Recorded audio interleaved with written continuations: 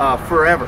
I mean, we've already got the steepest uh, slope ever uh, for a Red Bull track. And for anyone that has not been up there, I was up there this morning for an interview, and I, am telling you, you know that feeling you get with a roller coaster when it's ready to go? Imagine going down a roller coaster in skates.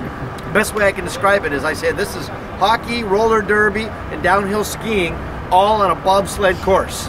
And you will skate for one or two strides before jumping into the, the, the, the track, the slope, and then going all the way down. And do you think that they will have to skate a lot to go up here? Not too much. Actually, they will have to brake to not hit the wall there. Because it will be really fast. There's a jump there, which is a which is called a floater.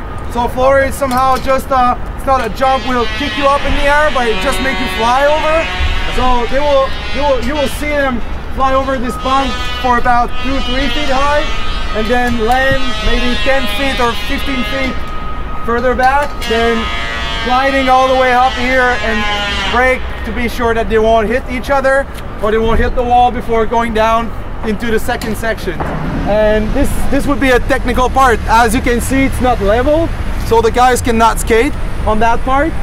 So they will have to, re to, to keep their speed and, and, and bring their speed from the top here to the green lane, to the double there, to be able to absorb it most of them will absorb it. It's it's pretty pretty huge. You can see the guys are standing beside. It. It's about four feet high, maybe five.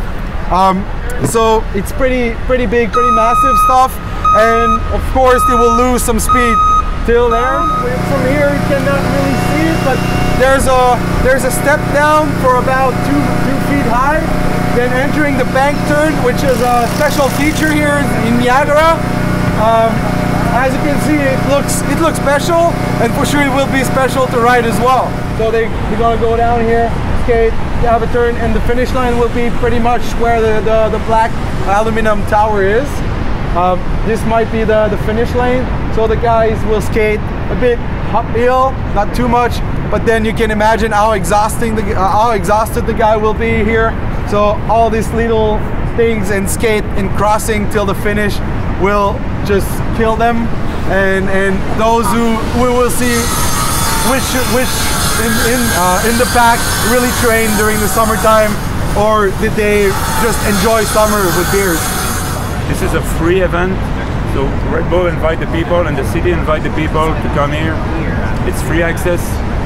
It's uh, we have places to put a lot of people but we may we have to ensure that the circulation of the public is easy and uh, people can walk from one place to another. We don't put any grandstand or, you know, like a big units where people can sit.